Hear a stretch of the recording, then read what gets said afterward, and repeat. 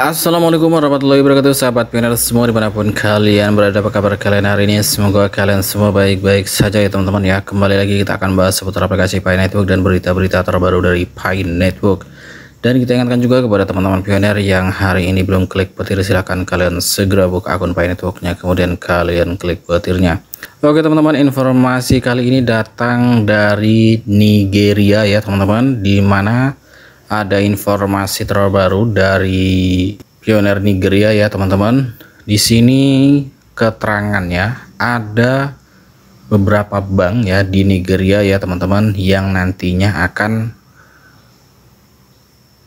bergabung ya atau terintegrasi dengan Pi Network. Kalian bisa lihat sendiri di sini ada Bank Zenith, kemudian ada UBA, ada GTB, kemudian ada Vice Bank, ada Sterling Bank dan ada Access Bank.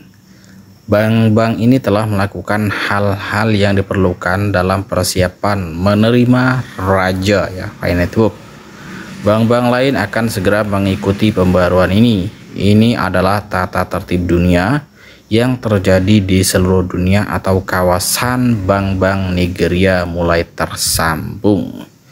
Oke, kita lihat lagi ya teman-teman ya. Informasi ini juga sudah di-share dari salah satu media ya teman-teman.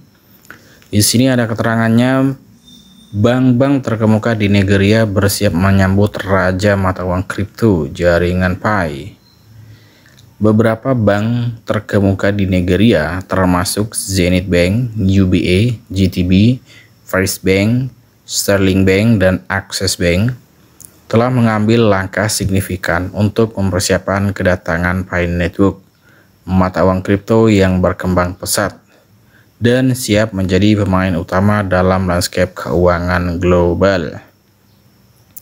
Lembaga keuangan ini telah melakukan peningkatan yang diperlukan pada sistem mereka untuk mengakomodasi Pi Network yang menandakan perubahan dalam cara mata uang kripto dapat segera diintegrasikan ke dalam perbankan arus utama.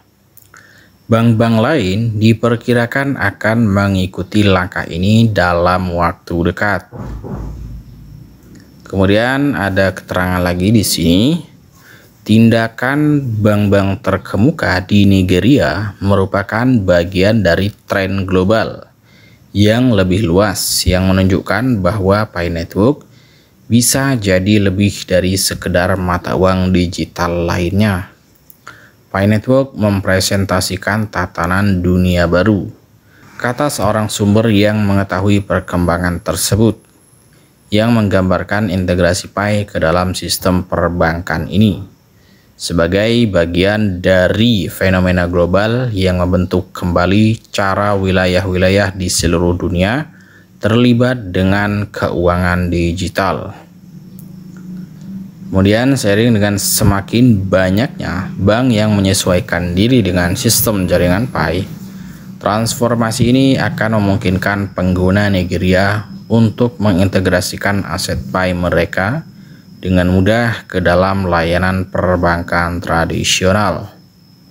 Ini merupakan langkah maju yang signifikan khususnya di negara-negara seperti Nigeria, tempat adopsi mata uang kripto sedang meningkat, dengan banyak pihak memandang aset digital sebagai cara untuk melewati rintangan keuangan tradisional.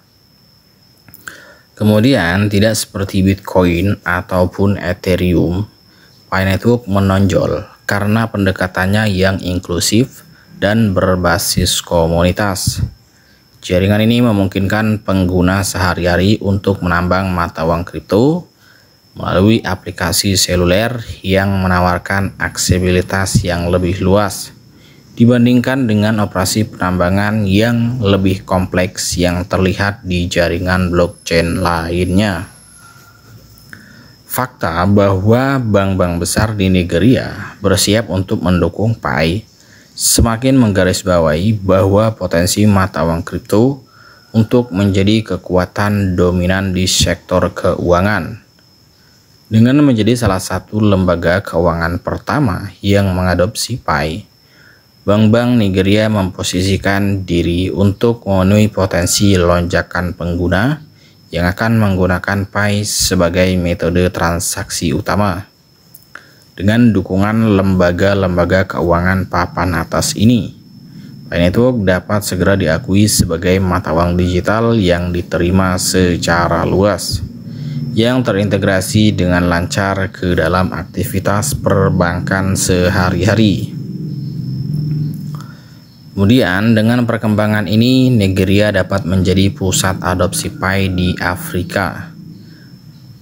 Bank-bank negara tersebut tidak hanya siap mendukung Pi, tetapi juga membuka pintu bagi transaksi lintas batas dan integrasi global. Selama beberapa bulan mendatang, lebih banyak bank diharapkan mengikuti jejak para pengadopsi awal ini, yang akan mempercepat revolusi keuangan yang didorong oleh mata uang kripto. Pine Network terbukti lebih dari sekedar inovasi teknologi.